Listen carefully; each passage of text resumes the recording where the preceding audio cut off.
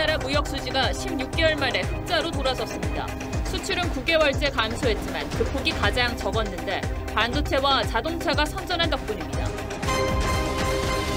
민주당이 서울 숭례문에서 일본 오염수 방류에 반대하는 대규모 집회를 열었습니다.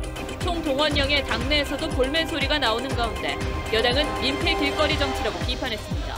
을지로 일대에서는 퀴어 축제가, 인근 서울 광장에서는 이에 반대하는 집회가 동시에 열렸습니다. 숨진 아이의 시신을 야산에 매장한 50대 여성이 붙잡혔습니다. 수원에서도 출산 직후 아이를 방치해 숨지게 한 20대가 긴급 체포됐습니다. 장마 전선이 물러나자 오늘 낮 최고 기온이 34도 안팎까지 오르면서 찜통 더위가 찾아왔습니다. 정부는 전국 폭염 위기 단계를 주의해서 경계로 올렸습니다.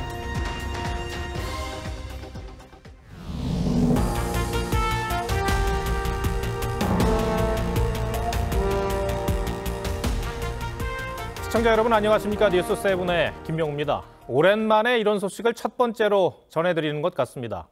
지난해 3월부터 긴 적자 터널에 갇혀있던 우리나라 무역이 흑자로 돌아섰습니다. 수출 감소율도 올 들어 최소치를 기록해 하반기 경기 반등에 대한 기대감이 커지고 있습니다. 다만 반도체와 중국에 대한 수출 회복이 관건이 될 것으로 보입니다. 유혜림 기자가 보도합니다. 지난해 3월부터 15개월 연속 적자를 기록하며 1997년 외환위기 이후 최장기간 적자 수렁에 빠졌던 무역수지. 지난달 11억 3천만 달러 흑자를 기록하며 적자 늪에서 탈출했습니다. 16개월 만에 적자 흐름의 마침표를 찍으면서 11.3억 달러 규모의 흑자를 기록하였습니다. 수출도 개선됐습니다.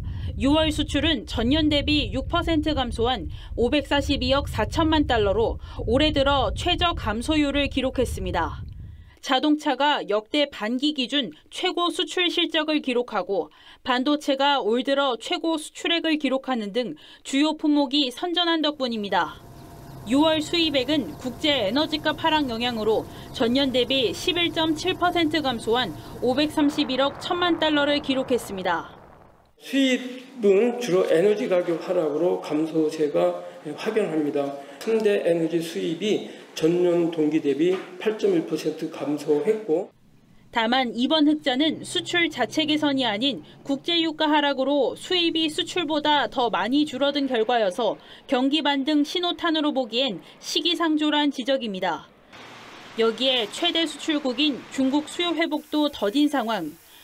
정부는 하반기에 반도체 실적이 개선되면 수출이 플러스로 전환될 수 있다고 보고 에너지 절약 캠페인과 수출 확대 정책을 지속할 계획입니다. TV조선 유혜링입니다. 네, 오랜만에 반가운 경제 지표 내용을 봤습니다만 이 반면 국민들이 체감하는 물가는 외식을 하기도 선뜻 상품 구매를 하기도 어려울 정도로 높기만 합니다. 정부가 제조사들을 향해 가격 인하 압박에 나섰고 여기에 제분 업체도 동참했는데 오늘부터 가격 인하가 시작됐습니다. 고물가에 지친 소비자들은 가격이 떨어진 상품을 한가득 담느라 여념이 없었습니다. 가격 인하 첫날의 마트 분위기를 윤재민 기자가 담아왔습니다. 서울의 한 대형마트. 라면 매대 앞이 손님들로 북적입니다. 오늘부터 주요 라면 업체가 일제히 가격 인하에 들어간 데다 마트에서 추가 할인 행사까지 열자 인파가 몰린 겁니다. 제조업체에서는 한 묶음에 200원 정도 가격을 내렸지만 마트 할인까지 합치면 600원 넘게 가격이 내려갑니다. 제조사의 할인 폭이 아쉬웠던 손님들은 중복 할인으로 가격이 크게 떨어지자 카트에 라면을 한가득 담았습니다. 올랐을 때는 한꺼번에 많이 오르고 다른 물가도 전체적으로 좀 많이 높아졌기 때문에 이거 100원, 200원 내렸다고 해서는 현실적으로 다가오지는 않는 부분인 것 같아요. 일부 과자 가격도 내리기 시작했고 요지부동이던 밀가루 값도 처음으로 떨어졌습니다. 추경호 부총리의 라면값 인하 권고 발언에 이어 한덕수 국무총리의 압박이 더해진 영향입니다. 공정거래위원회가 담합의 가능성 같은 것도 좀 열심히 좀 들여다봐야 되고 또 유통 구조 같은 것도 좀 면밀하게 살펴서 밀가루 가격이 내려가면 이미 가격 인하에 나선 라면과 제과업계의 원가 부담도 줄어들 것으로 전망됩니다. TV조선 윤재민입니다. 네, 일본 정부의 후쿠시마 오염수 방류가 초읽기에 들어갔다는 관측이 나오는 가운데 민주당은 오늘도 서울 도심에서 대규모 장애 집회를 열었습니다. 소속 의원뿐만 아니라 당직자, 당원까지 총동원령이 내려졌습니다. 당내에서도 거대 야당이 길거리에서 이럴 때냐는 지적이 나왔고 어민 단체들은 정치쇼 때문에 어민들만 피해를 본다며 힘들어하고 있습니다. 정민진 기자입니다. 서울 숭례문 앞 민주당 의원 90여 명과 당원들이 피켓을 들고 구호를 외칩니다. 저지하라! 저지하라! 저지하라! 저지하라! 이재명 대표는 17분간 연설을 하며 윤석열 대통령을 향해 국민 분열과 대결을 조장한다고 목소리를 높였습니다. 전 정부를 반국가 단체라고 비난하면 대체 전 정부를 지지했던 그 수많은 국민들은 반국가 단체 구성원이라도 된다는 말입니까? 민주당 사무처는 각 지역위원회에 이렇게 공문을 보내 당 소속 의원과 당직자, 당원까지 참여를 독려했습니다. 폭염특보까지 발효된 날씨였지만 이날 장애투쟁에는 만여 명이 모였습니다. 오염수 방류 반대를 위한 민주당의 세 번째 장애 집회로 당내에선 당 쇄신을 비롯한 산적한 과제 속에 당이 여론전에만 치중한다는 비판도 나옵니다. 정작 해야 될 지금 숙제를 잊어먹고 지금 정력을 받으면 여기저기 소진시켜 버리는 거죠. 국내 최대 어업인 단체는 정치권의 쇼로 어민들 생계가 위협받고 있다며 정쟁을 멈춰달라고 거듭 호소했습니다. 정치권에서 조금 자중해 주시고 그 정치권에서 끼리 쇼로 하고 이러면은 결, 결론적으로 우리 어머님만 지금 고스란히 피해를 떠안는데 여당은 거대 야당이 아스팔트 위에 눌러 앉겠다는 발상이 놀랍다며 민생을 팽개치고 괴담을 일삼는 모습이 사익 결사체에 가깝다고 비판했습니다. TV조선 정민진입니다. 이렇게 민주당이 후쿠시마 오염수 문제에 총력을 다하며 반일 감정을 자극하고 있는데 어제 국회 본회의장에선 이런 일이 있었습니다. 민주당 김영주 의원이 지인과 일본 여행을 논의하는 메시지가 포착된 겁니다. 뭔가 앞뒤가 안 맞는 상황인데 고이동 기자가 이 내용 전해드리고 뉴스야 코너에서도 다뤄보겠습니다. 일본의 후쿠시마 오염수 방류 계획 철회를 촉구하는 결의안이 야당 단독으로 채택된 어제 국회 본회의장. 민주당 소속 국회 부의장 김영주 의원의 휴대전화 문자가 언론사 카메라에 포착됐습니다. 지인으로 추정되는 인물은 김 의원에게 홋카이도의 구체적 지명까지 거론하며 이 지역은 한국인이 많지 않아 골프를 칠 수 있다면서 맛집과 쇼핑까지 언급했고 김 의원은 3박 4일 일정으로 가능하다고 하니 비용을 보내달라고 해봐라고 답했습니다. 김 의원이 일본 여행 문자를 주고받은 날 민주당은 의사 일정까지 바꿔가며 결의안 채택을 밀어붙였습니다. 선동 정치 자행하는 민주당은 각성하라. 각성하라. 각성하라. 각성하라. 국민의힘은 내로남불을 넘어선 국민에 대한 기만이자 조롱이라며 부의장직에서 사퇴하라고 비판했습니다. 반일 감정을 자극해 일본은 상종도 하면 안 되는 나라처럼 만들더니 정작 자신은 일본 여행에 단꿈에 젖었다고도 했습니다. 북회도에 가서 일본 수산물은 먹지 않으려고 했습니까? 반일 민족주의를 이용해 정쟁을 일으키려는 것이라고 솔직하게 말씀하십시오. 당 안팎에서 내로남불이라는 비판이 이어지고 있는 가운데 김영주 의원은 언론의 별도 입장을 내지 않았습니다. TV조선 고이동입니다. 교육부가 킬러 문항 예시를 공개했지만 현장에서는 여전히 킬러 문항 선정 기준이 모호하다는 지적이 나옵니다. 이 수능이 얼마 남지 않은 시점인데 수험생들은 갈 길을 잃었다며 불안해하고 있습니다. 교육부는 내일 수능 세부 지침을 발표할 예정입니다. 신경희 기자입니다. 교육부가 지난 26일 킬러 문항 예시를 공개했지만 기준 논란은 여전합니다. 교육부가 6월 모의평가 킬러 문항으로 꼽은 국어 영역 2개의 정답률은 30% 중반을 넘겼고 만점자는 1,500명에 달할 정도로 작년 모의평가보다 25배나 많기 때문입니다. 수능이 5달밖에 안 남은 고3 학생들은 여전히 당황스럽습니다. 갈 길을 잘 모르겠다.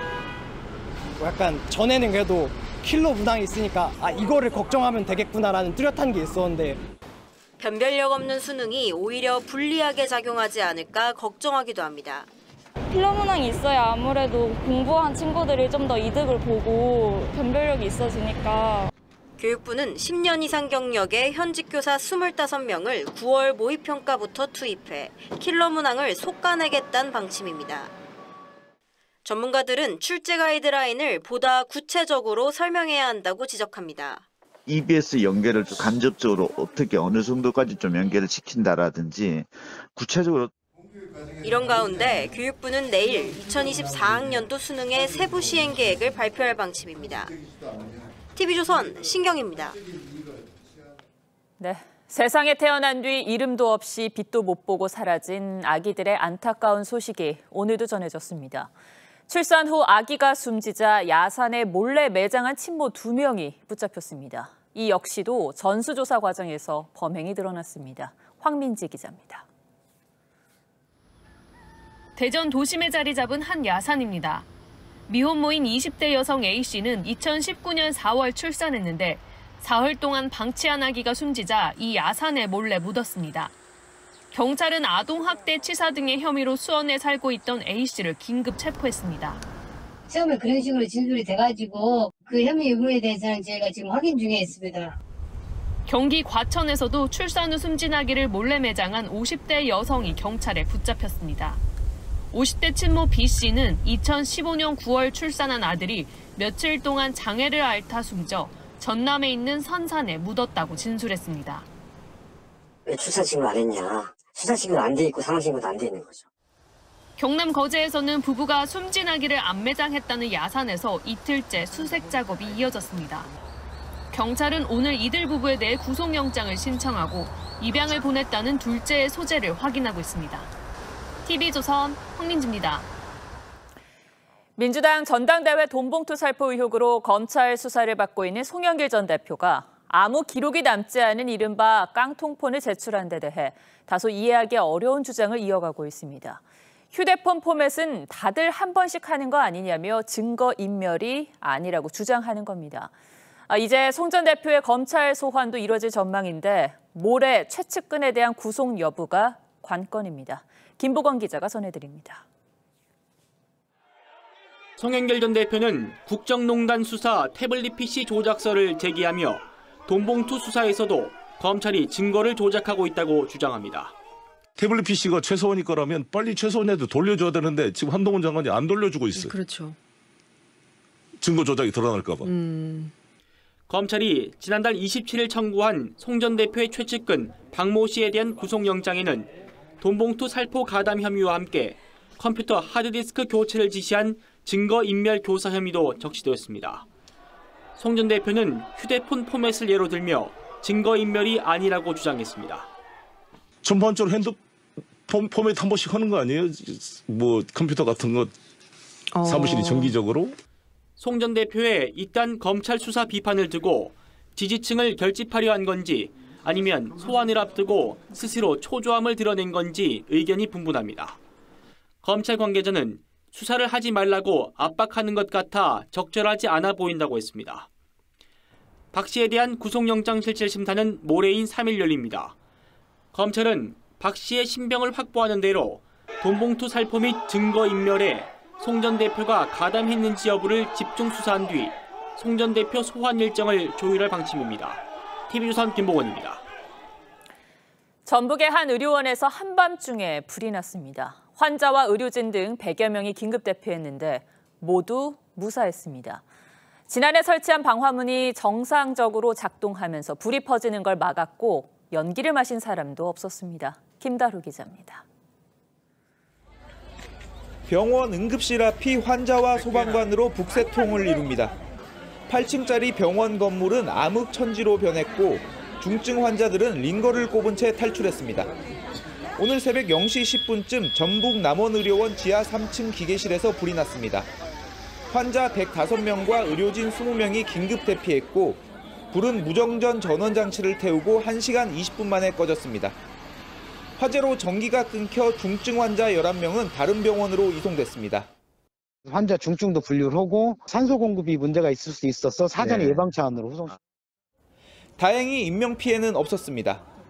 지난해 11월 설치한 방화문이 정상 작동한 덕분에 불길이나 연기가 건물 내부로 번지지 않았기 때문입니다. 현장 바가지점만 좀 타고 말았어요. 다른 층으로 확대된 것도 아니고 또 다른 칸으로 확대된 것도 아니고. 오늘 새벽 6시 반쯤 강원 홍천강에서는 반려견과 캠핑을 하던 40대 여성이 강물에 휩쓸려 실종됐습니다. 경찰과 소방당국은 수색 헬기와 드론 등을 투입해 실종자를 찾고 있습니다. TV조선 김다로입니다. 마약 중독 치료를 받던 20대 여성이 모르는 남성과 만나 또 마약을 투약하다 체포됐습니다. 어, 마약 투약 혐의로 재판을 받는 와중에 마약을 하다가 적발된 경우도 있는데요. 어, 마약 사범의 절반이 또다시 마약에 손을 대는 게 현실입니다. 조윤정 기자의 단독 보도입니다. 지난달 27일 서울 화곡동의 한 모텔 앞 남녀가 비틀거리며 모텔로 향합니다. 1시간 40분쯤 뒤 모텔로 출동한 경찰이 두 사람을 붙잡아 나옵니다. 26살 여성 A씨와 59살 남성 B씨가 필로폰 투약 혐의로 현행범 체포된 겁니다. 막 위를 자꾸 쳐다보면서 두리번두리거리고 얼룩이 얼룩이 장난 아닌 거예요 그냥 팔이 모텔방에선 주사기와 필로폰 3g이 발견됐습니다. 두 사람은 모르는 사이로 SNS를 통해 만났는데 특히 A씨는 최근까지 병원에서 마약 중독 치료를 받아오다 또다시 마약에 손을 댄 것으로 확인됐습니다. 지난 18일 서울 송파구에서도 필로폰 투약 혐의로 재판을 받던 26살 여성이 또다시 투약을 하다 적발돼 구속됐습니다. 결제가 안 되니까 지구대에 방문하게 된 거였어요. 이렇게 안절부절해 하시고 말을 좀 같은 말을 좀 반복. 최근 5년간 마약류 사범의 재범률은 50% 정도로 마약에 손댄 두 명 중 한 명은 마약의 유혹을 떨쳐내지 못하고 있습니다. TV조선 조윤정입니다. 푹푹 찐 하루였습니다. 이 하늘에 구멍이 뚫린 듯 비가 내리더니 곧바로 찜통더위가 찾아왔습니다. 이 장마의 뒷자락이라 높은 습도까지 겹쳐 더 덥게 느껴졌죠. 정부는 오늘 폭염 위기 경보를 주의에서 경계로 격상했습니다. 김동영 기자입니다. 서핑보드에 올라 일렁이는 파도에 몸을 맡깁니다. 균형을 잃고 바닷물에 빠지기 일쑤지만 더위도 잊은 채 서핑에 몰두합니다. 다양한 사람들과 서핑을 즐길 수 있는 게 되게 재밌는 것 같아요. 파도 높이도 딱 좋은 것 같고 바닷물에 발을 담그고 시원한 바닷바람도 만끽합니다. 이렇게 와서 맨발로 걸으면서 바닷물도 느끼고 모래도 느끼고 바람도 느끼고 한강공원 분수대는 물놀이장으로 변했습니다. 서울은 오늘 낮 기온이 33도 가까이 치솟았습니다. 오븐에 들어간 것처럼 그냥 다 익는 것 같이 너무 뜨거워가지고 물이 없으면 못 살 것 같다 그 정도로.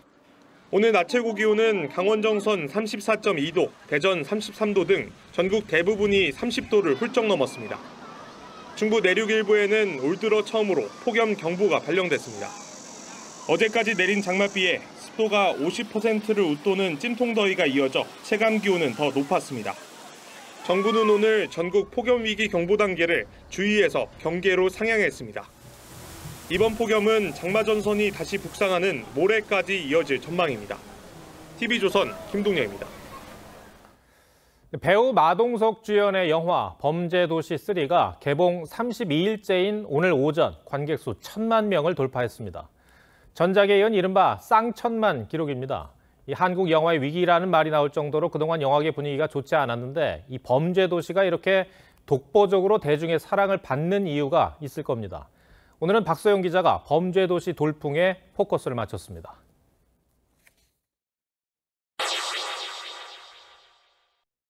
관객들은 아는 맛을 찾았습니다. 전편에서 검증받은 웃음과 익숙한 줄거리. 넌 뭐야? 까불인데요? 까불고 있어. 꾸준히 등장하는 단골 캐릭터가 관람료 15,000원 시대 천만 관객의 발을 붙들었습니다. 범죄도시는 시리즈로 기획되는 소위 프랜차이즈 영화가 성공한 국내 대표 사례가 됐습니다. 충성도를 갖춘 관객들을 확보할 수 있다는 장점이 있기 때문입니다. 이 티켓 값을 지불해도 실패하지 않고 후회하지 않은 그런 영화를 찾게 되는 심리를 정확히 겨냥하고 있다고 1편의 장첸과 2편의 강혜상, 3편의 주성철과 리키가 절대악이라면 이에 맞서는 마석도는 절대선입니다. 범죄도시 시리즈는 악당의 사연에 집중하거나 인물의 뒷이야기를 설명하지 않습니다. 대신 단순 명쾌한 구도를 제시하고 악당은 그만큼 확실하게 응징합니다. 너한테 좀 맞아야 돼. 현실에선 볼 수 없는 통쾌한 드라마에 관객은 열광합니다. 타격감 있는 액션과 권선징악이 확실하다는 점. 비슷하면 밟아. 야, 너 그러다 혼난다. 하지만 흥행의 가장 큰 이유는 뭐니 뭐니 해도 마블리 마동석입니다. 마동석 씨가 이제 너무 멋있다고 생각했고 이 장르가 마동석이어서 이제 흥행이 되지 않았나 나쁜 놈들은 잡아야 된다며 온몸으로 정의를 구현하는 열혈 형사. 그러면서도 따뜻하고 인간적인 면모를 동시에 갖춘 마석도의 캐릭터에 천만 시민은 매료됐습니다. 전편을 통해 관객이 무엇을 원하는지 학습한 마동석이 직접 기획과 제작에 참여하는 등 영화 안팎에서 활약한 점도 주요했습니다. 매편 제가 세팅을 해놓고 기획을 해놓은 작품들이 있어서 어떨 때는 스케일이 더 커지고 어떨 때는 작지만 더 밀도 있고 이런 것도 좀 시도해 보려고 노력하고 한국 영화의 위기를 뚫고 천만 돌파에 성공한 범죄도시. 이 돌풍이 어디까지 이어질지. 뉴스7 포커스입니다. 네, 서울 시내에서 성소수자 축제인 퀴어 문화 축제가 열렸습니다. 이 폭염 속에서도 3만 명이 모였는데 이 축제를 비판하는 사람들도 만 명 가량이 모였습니다. 김창섭 기자가 현장에 다녀왔습니다. 거리에 무지개색 깃발과 우산을 든 사람들이 가득합니다. 오전 11시 서울 을지로 일대에서 성소수자 축제인 퀴어 문화 축제가 열렸습니다. 제24회 서울 경라 축제 개막을 선언합니다. 성소수자와 연대하는 여러 단체가 참여해 약 60개의 부스가 차려졌고 폭염 속에서도 약 3만 명 가량이 축제에 참여했습니다. 오늘 같은 날 이제 모두가 나랑 같은 사람하고 같이 있을 수 있다는 이 소속감을 느낄 수 있어서 오늘 참여하게 됐습니다. 지난 2015년부터 서울광장에서 열렸던 퀴어 축제는 서울시가 허가하지 않아 올해는 이곳 을지로 일대에서 개최됐습니다. 약 500m 떨어진 세종대로에서는 퀴어 축제를 규탄하는 대규모 맞불 집회가 열렸습니다. 음란을 부추기는 퀴어 문화 축제를 막아 주옵소서. 퀴어 반대 집회에는 만 명 가량이 참석해 동성 결혼 등을 비판했습니다. 남자와 남자가 결혼하고 여자가 여자가 결혼하는 것은 저는 무조건 반대합니다. 맞불 집회는 퀴어 축제 현장 인근에서 4개 단체가 주최했는데 양측의 큰 충돌은 없었습니다. 퀴어 축제 행진과 집회가 겹치며 서울 도심에서는 교통 정체가 발생해 시민들은 불편을 겪기도 했습니다. TV조선 김찬섭입니다. 네, 미국 대법원은 종교적 신념에 따라 동성 커플에게 서비스를 제공하지 않을 수 있다는 판결을 내놓았습니다. 이 트럼프 정부 시절 보수 우위로 재편된 대법원에서 보수 이념이 투영된 판결이 잇따라 나오면서 미국 사회가 다시 둘로 갈라지는 모양새입니다. 변재영 기자입니다. 결혼식 사이트를 만드는 로리 스미스. 7년 전 종교적 신념에 따라 동성 커플과의 계약을 거부할 수 있어야 한다며 헌법 소원을 제기했습니다. 이에 대해 미국 연방대법원이 종교적 신념을 이유로 동성 커플에게 서비스를 제공하지 않을 수 있다고 판결했습니다. Nobody should be forced to create a message that goes against his or her convictions. 같은 날 대법원은 민주당 소속 바이든 대통령이 공약으로 삼았던 학자금 대출 면제 정책에도 제동을 걸었습니다. 재판부는 큰 사회적 비용이 드는 만큼 의회 승인이 먼저라고 못 박았습니다. 공화당이 다수인 하원 통과 가능성이 없어 사실상 폐기 수순을 밟게 됐는데 바이든 대통령은 발끈했습니다. I think the court misinterpreted the Constitution. 앞서 60여 년간 이어졌던 소수인종 대입 우대 정책에도 위헌 결정을 내린 미 대법원. 잇따라 보수적 판단을 이어가고 있습니다. Can I just say God bless the Supreme Court? 트럼프 정부 때 6대3 보수 우위로 재편된 대법원의 잇따른 보수적 판단에 미국 사회가 또다시 양분되는 분위기입니다. TV조선 변재영입니다. 서울의 한 아파트 무순위 청약에 90만 명 넘게 몰리면서 사상 최고 경쟁률을 기록했습니다. 청약 규제가 풀린 데다 주변 시세와 크게 차이나는 이른바 로또 청약이라 몰린 건데요. 하지만 이런 현상만 보고 청약 시장 전체에 훈풍이 분다고 보기는 또 어렵다고 합니다. 김혜나 기자가 보도합니다. 서울 흑석동의 한 아파트 단지. 단 두 가구를 뽑는 무순위 청약에 청약 사상 최대 인원인 93만 명이 몰렸습니다. 최소 5억 원 가량의 시세 차익이 예상되자 너도 나도 청약에 뛰어든 겁니다. 앞서 서울 수방사 공공분양 사전 청약도 로또 청약이란 수식어를 달며 300대 1에 가까운 경쟁률을 보였습니다. 한 5, 6억 정도는 지금 상황에서도 남는 거죠. 이번에 또 청약을 완전히 풀었으니까 청약 시장에 온기가 도는 분위기지만 같은 서울이라도 시장의 반응은 180도 다릅니다. 서울 강북구 한 아파트는 9차례 무순위 청약에도 미계약 물량이 남았고 강서구의 한 아파트도 물량을 털어내기 위해 옵션비를 내주는 선착순 분양에 나섰습니다. 지방과의 차이는 더 심각합니다. 지난 5월 서울의 1순위 청약 경쟁률은 평균 80대 1을 웃돌았지만 지방은 대부분 1대 1을 넘기지 못했습니다. 주거 선호도가 높은 지역과 그렇지 않은 지역 혹은 또 분양가에 따른 가격 경쟁력에 따른 청약 시장의 양극화는 조금 더 심화될 수 있다. 당분간 지역별 단지별 옥석 가리기가 심화될 것으로 보이는 가운데 적체 물량이 해소되지 않으면 추후 시공사들의 신규 공급에 문제가 생길 수 있다는 지적도 나옵니다. TV조선 김연아입니다.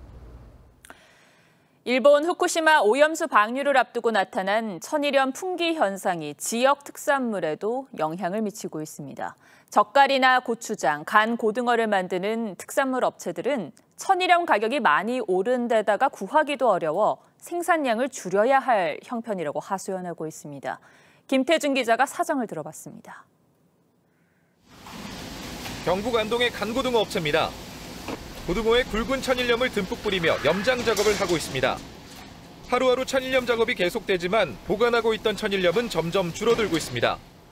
미리 사두었던 천일염이 바닥을 보이기 시작하자 업체는 생산량을 줄이는 비상 대책을 모색하고 있습니다. 그러니까 이제 약하고 길, 어, 길게 가는 전략으로 가야 되지. 소금량을 소모를 줄이고 좀 오래 생산해 가는 방법으로 지금. 천일염을 많이 사용하는 젓갈 업체들도 사정은 마찬가지. 젓갈은 종류에 따라 염장을 배에서 직접 하거나 시장에서 하기도 하는데 선주나 상인들 모두 천일염 구하기가 하늘의 별 따기라고 한 목소리로 말합니다.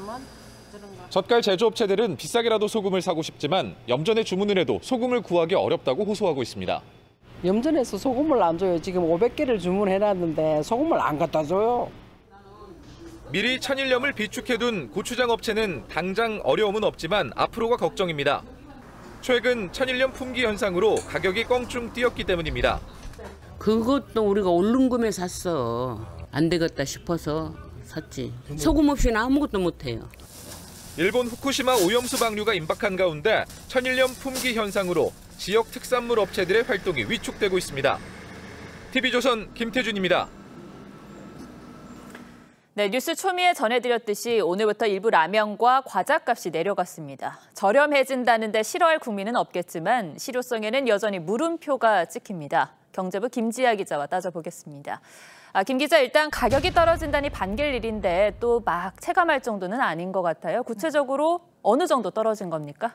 네, 먼저 라면 업계에선 농심과 삼양 등 4개사가 5% 안팎으로 가격을 낮췄습니다. 소매점 기준으로 신라면 한 봉지는 1,000원에서 950원으로 50원 정도 내렸고요.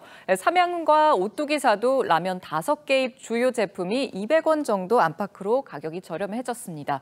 또 롯데제과와 SPC 등 과자와 빵 업계도 일부 인기 제품 가격을 100원에서 200원씩 내렸습니다. 이런 가격 인하 움직임 이 사실 자발적이라기보다는 정부 압박에 백기를 들었다 이런 표현이 더 맞지 않겠습니까? 네, 그렇습니다. 신호탄은 지난달 18일 추경호 경제부총리가 쐈는데요. 그 발언 한번 들어보시죠.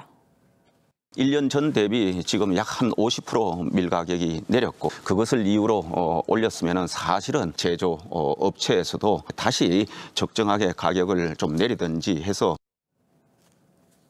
이 발언 이후 9일 뒤에 농심이 가격 인하를 이렇게 발표했고요.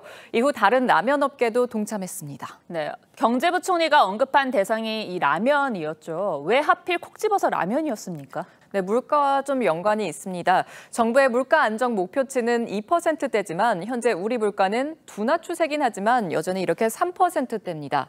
여기서 어떤 항목이 물가를 끌어올리나 봤더니 가공식품과 외식이 전체 물가 상승률의 두배 이상을 기록하고 있었습니다. 이 가운데 라면은 또 1년 전보다 13.1% 오른 것으로 나타났습니다. 그런데 라면의 원재료인 밀이나 파묘 가격 꾸준히 내려가는 추세거든요. 결국 라면의 원재료값 하락과 함께 서민식품을 대표하는 라면의 이 상징성 때문에 정부가 나선 것으로 풀이가 됩니다. 네, 사실 물가를 잡기 위해서 정부가 직접적으로 업계를 압박한 게 이번이 처음은 아니잖아요. 특히 13년 전과 판박이라는 말도 많이 나오더라고요. 네, 그렇습니다. 2010년 이명박 정부 때인데요. 당시 국제 유가가 뛰면서 소비자 물가 상승률이 크게 오르자 정부가 생활 밀접 품목 50여 개를 선정했습니다. 또 업계에 대한 전방위 압박을 가한 바 있습니다. 부처 차원에서 서민 생활 품목 가격을 거의 매주 점검하고 나서면서 이른바 MB 물가 지 수라는 말까지 나왔을 정도입니다. 그래서 당시에 그 방식이 통했습니까? 사실 안타깝게도 물가가 더 올랐습니다. 이른바 MB 물가로 지목된 품목들의 5년간 물가 상승률을 봤더니 전체 소비자 물가 상승률의 1.6배에 달했습니다. 어, 그렇다면 이번에는 다를 수 있을까요? 네, 소비자 입장에선 사실 가격이 내리면 당연히 좋겠죠. 하지만 라면이나 과자값이 50원, 100원이 낮아진다고 해서 가계 지출 부담이 줄었다 이렇게 느끼기는 좀 힘들 겁니다.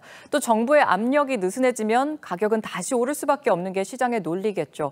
특히 현 정부가 민간과 시장 중심의 경제를 해온 만큼 식품업계를 압박하는 것 자체가 정책 기조와 좀 배치된다 이런 지적들도 나오고요. 이에 전문가들은 물가를 안정시키려면 시장 개입보다는 금리 인상과 같은 이 통화 정책으로 대응을 해야 한다고 강조하고 있습니다. 네, 기업들도 뭐 정부 압박에 백길이 들긴 했어도 매출의 상당 부분을 차지하는 주요 품목은 또 가격을 유지하고 있고 기업 입장에서는 이윤을 포기하지 못할 수밖에 없겠죠. 결국에는 반짝 효과 보다 장기적인 대응이 좀 절실해 보입니다.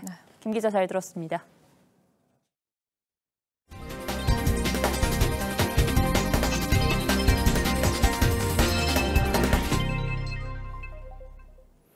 프랑스에서 10대 소년이 경찰총에 맞아 숨진 사건으로 시위가 나흘째 계속되고 있습니다.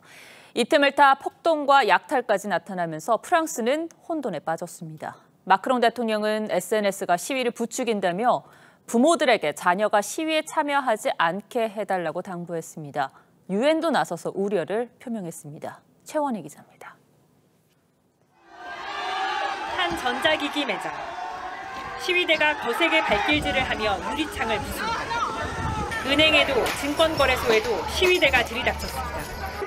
알제리계 소년의 죽음이 촉발한 시위가 나흘째 이어지면서 곳곳에서 약탈 피해도 늘고 있습니다. 마르세유에선 총기 약탈까지 벌어졌습니다. 4만 5천 명의 진압 경찰 가운데 수백 명이 부상을 입었고 지금까지 체포된 사람은 1천 명이 넘습니다. 긴급히 귀국한 마크롱 대통령은 SNS가 시위를 부추긴다며 부모의 역할을 당부했습니다. C'est la responsabilité des parents de les garder au domicile. Et donc il est important pour la quiétude de tous que la responsabilité parentale puisse pleinement s'exercer et j'en appelle au sens de la responsabilité des mères et des pères. 일부 지역에선 콘서트와 축제가 취소됐고 수도권을 오가는 버스와 트램 운행도 중단됐습니다. 인접한 스위스 제네바에서도 프랑스 국경을 오가는 대중교통 운행을 막았습니다. 유엔은 평화 집회를 당부하면서도 인종 차별 문제를 부각했습니다. This is a moment for the country to seriously address the deep issues of racism and racial discrimination in law enforcement. 세계 각국은 프랑스에 체류하고 있는 자국민에게 안전에 유의해달라고 당부하고 있습니다. TV조선 최원입니다.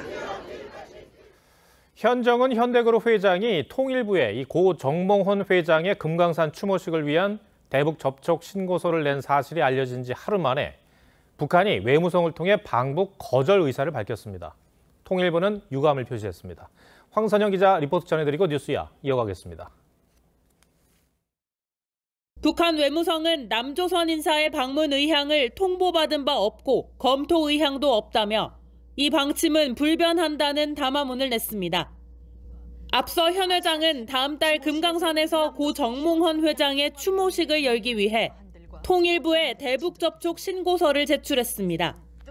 신고서가 수리되면 북한의 아시아태평양 평화위원회와 접촉해 초청장을 받고 이 초청장으로 정부의 방북 승인을 받을 수 있는데 통일부가 신고서를 수리하기도 전에 북한이 방북을 거절한다고 한 겁니다. 금강산에서 추모식을 하고 돌아왔습니다. 헌화, 묵념 후 현대와 북측이 각각 추모사를 낭독하는 순으로 특히 발표 주체가 통일전선부와 같은 대남기구가 아닌 외무성이었고 통상 남북이 다른 국가가 아니라는 의미로 써온 입경 대신 입국이라는 표현을 사용해 북한이 우리나라를 특수관계가 아닌 외국으로 대하겠다는 의지를 나타냈다는 분석입니다.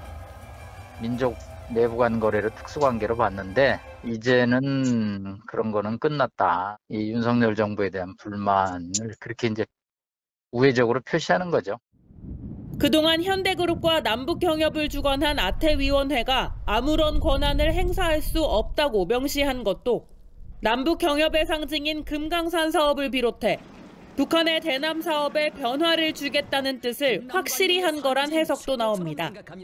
통일부는 북한이 일방적으로 거부 의사를 밝힌 데 대해 매우 유감이라며 북한의 발표를 고려해 처리해 나가겠다고 했는데 현 회장의 접촉 신고는 반려될 가능성이 커 보입니다.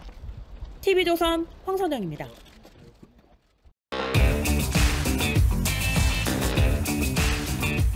뉴스야 시작합니다. 정치부 이채림 기자 나와 있습니다. 첫 번째 물음표 볼까요? 네, 첫 번째 물음표는 입으론 포기, 속내는 사수입니다.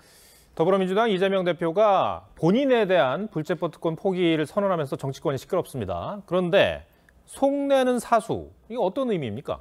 네, 먼저 이재명 대표가 지난달 19일에 국회에서 검찰의 영장을 청구하면 실질 심사를 받고 무도함을 밝히겠다면서 불체포 특권 포기 의사를 밝혔죠.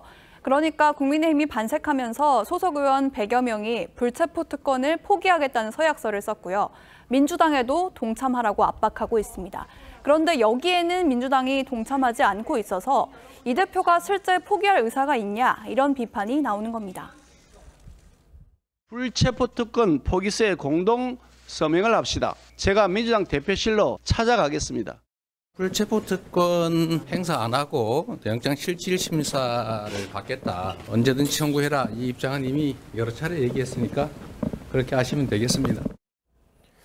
이 대표가 먼저 말을 했는데 동참하지 않는 거는 좀 의아하긴 하네요. 네, 그래서 여권에서는 이 대표가 실제로 영장이 다시 청구되면 말을 뒤집으려는 거 아니냐 이런 지적도 나옵니다. 여기에 민주당 혁신위도 1호 혁신안으로 의원 전원이 불체포 특권을 포기할 것을 제시했는데 당 지도부는 존중한다면서도 소속 의원들의 총의를 모아나가겠다면서 사실상 거부했습니다. 체포 동의안 부결을 위한 임시회는 열지 않고 비회기 기관을 확보해 영장 실질 심사를 받도록 하겠습니다. 비회기 기간을 확보해 영장 실질 심사를 받겠다. 이거는 어떤 뜻입니까? 네, 현행법상의 국회 회기가 아닐 때 구속영장이 청구되면 현역 의원이더라도 이 본회의 표결 없이 바로 영장 실질 심사를 받아야 합니다. 지난 3월에 민주당이 임시회 개회를 공휴일인 3일절에 하자고 주장을 했는데요. 여당에서는 이 대표의 불체포 특권을 위해서 하루도 불안해서 못 비우냐면서 방탄국회라고 맞섰었죠. 앞으로는 그런 식의 임시회 개회를 하지 않겠다는 겁니다. 실제 표결이 진행되더라도 민주당 의석수를 감안하면 민주당이 유리한 거 아닙니까? 그렇습니다. 21대 국회 들어서 현역 의원에 대한 체포 동의안이 본회의 안건으로 오른 게 총 10번입니다. 혐의는 조금씩 다르지만요. 국민의힘 소속 의원 2명은 모두 가결됐고요. 민주당은 정정순, 이산직 의원을 제외하고 4명은 부결됐습니다. 특히 최근 전당대회 돈봉투 살포 의혹으로 영장이 청구됐던 윤관석, 이성만 의원에 대한 체포동의안 부결을 두고 민주당은 한동훈 법무부 장관의 탓으로 돌리기도 했습니다. 방탄이라는 비난을 감수하더라도 어떤 정치적인 의사표시를 하지 않으면 안 된다라는 분위기를 말씀드리고요. 의도적으로 자극한 게 만들어낸 게 법무부가 아닌가 장관이 아닌가 싶습니다. 민주당은 대신에 당론으로 가부결을 결정하지 않겠다고 했는데요. 결국 불체포 특권을 사수하기 위한 말장난이 아니냐 이런 비판이 나오고 있습니다. 네. 첫 번째 물음표 정해볼까요? 네, 오늘 첫 번째 물음표 입으론 포기, 속내는 사수의 느낌표는 깨끗하면 필요 없다로 예. 정리해봤습니다.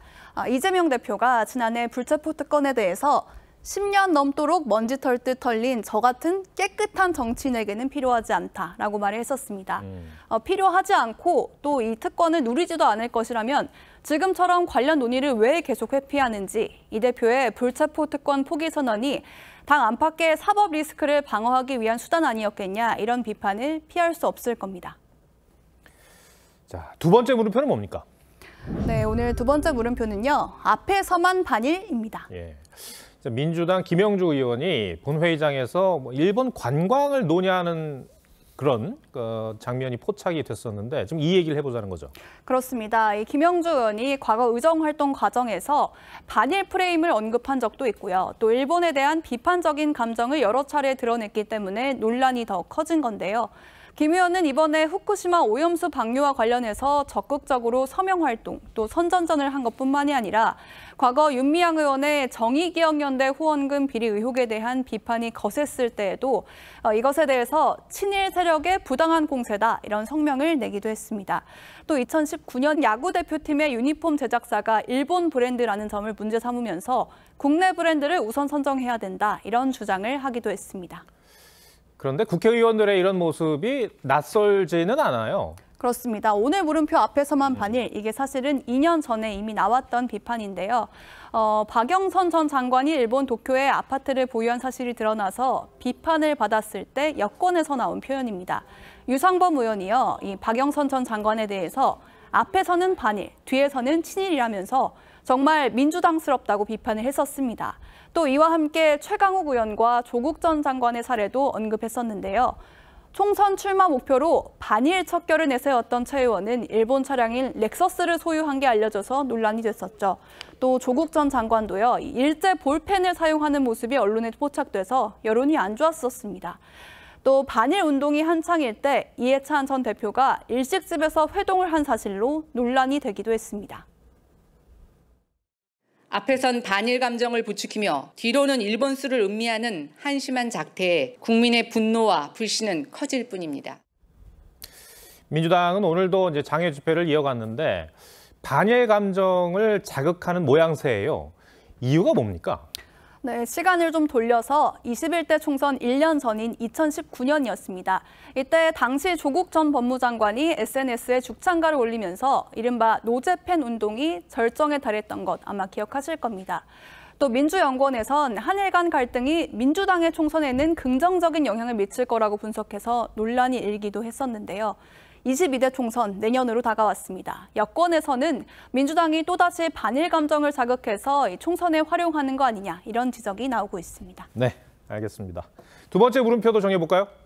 네, 두 번째 물음표 앞에서만 반일의 느낌표는 두 번은 안 속는다로 정리해봤습니다. 예. 일본에 여행 가거나 일본 물품 쓰는 거 모두 개인의 자유입니다만 국민을 향해서는 반일을 외치면서 정작 자신은 앞뒤가 다른 행동을 한다면 비판을 피하기 어려울 겁니다. 특히 당시 일본의 수출 규제가 해제되는데 4년이 걸렸듯이 정치권이 빚어낸 한일 갈등으로 인한 손해를 회복하는 데는 수년의 시간과 노력이 걸린다는 거 기억해야 할 겁니다. 반복되는 민주당 의원들의 이런 태도가 국민들의 반감만 부를 수도 있을 것 같습니다.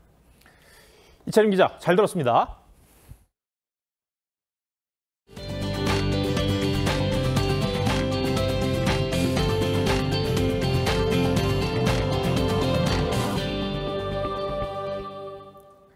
프로야구 한화 팬들은 요즘 야구 볼맛이 난다고 입을 모읍니다. 18년 만에 7연승을 달렸습니다. 지금 이 시각에는 삼성을 상대로 8연승에 도전하고 있는데요. 아, 만년 꼴찌라는 꼬리표를 붙이고 있던 한화가 달라진 배경은 뭔지 성민혁 기자가 보도합니다. 한화의 방망이는 더욱 뜨거워지고 있습니다. 새 외국인 타자 윌리엄스가 KBO 3경기 만에 투런 아치를 그렸고 정은원은 시즌 마수걸이 홈런을 터뜨렸습니다. 노시환도 솔로포로 쐐기를 박았습니다. 마운드엔 슈퍼루키 문동주가 버텼습니다. 160km에 육박하는 강속구와 경험이 쌓이면서 뛰어난 위기 관리 능력으로 한화의 마운드에 활기를 불어넣고 있습니다. 여기에 안정된 내야진과 김범수와 이태양, 정우람, 한승주 등 탄탄한 불펜이 버티고 있습니다. 하나는 2005년 6월 이후 무려 18년 만에 7연승을 거뒀습니다. 다음 제가 던질 때까지 저희 팀이 꼭 연승을 하고 있다면 제가 또 나머지 연승을 이어갈 수 있도록 최선. 하나는 불과 50일 전만 해도 승률이 4할 미만으로 최하위에 머물렀습니다. 하지만 최원호 감독이 부임한 이후 자신감의 날개를 달고 비상하기 시작했습니다. 6월 성적만 놓고 보면 팀 타율이 2할 6푼 7리로 3위, 팀 방어율도 3.76으로 2위입니다. 이진영과 김인환으로 이어지는 테이블 세터 조합이 안착한 데다 외국인 투수 페냐가 부활했고 새로 영입한 리카르도 산체스까지 연일 호투를 펼치고 있습니다. 8위로 올라온 한화는 5위 키움에 두 경기 차까지 따라붙었습니다. TV조선 성민혁입니다.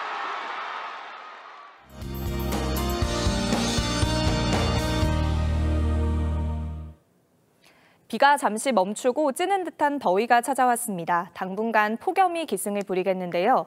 현재 전국 곳곳에는 폭염특보가 발효 중입니다. 특히 일부 지역은 올해 첫 폭염 경보도 내려지면서 체감 온도가 35도 안팎까지 올랐습니다. 호남 내륙에는 늦은 저녁까지 소나기가 내리겠습니다. 비의 양은 5에서 40mm 정도가 예상되고요. 돌풍과 함께 천둥, 번개를 동반하며 요란하겠습니다. 내일 아침 최저 기온은 서울이 23도, 강릉은 24도 보이겠고요. 낮 동안 기온이 빠르게 오르면서 서울과 춘천이 32도, 전주 33도, 대구는 35도까지 오르겠습니다. 찜통 더위 속에 온열 질환 걸리지 않도록 주의하셔야겠고요. 내일도 볕이 강하게 내리쬐면서 자외선 지수가 높게 나타나겠습니다. 또 아침까지 서해안과 경기 북부 내륙, 전남에는 짙은 안개도 지나겠습니다. 정체전선이 다시 북상하면서 내일 오후부터 제주에 비가 시작되겠고요. 다음 주 화요일과 수요일 전국에 장맛비가 내리면서 폭염은 조금 누그러지겠습니다. 날씨였습니다. 7월 1일 토요일 뉴스 7 마치겠습니다. 함께해 주셔서 고맙습니다.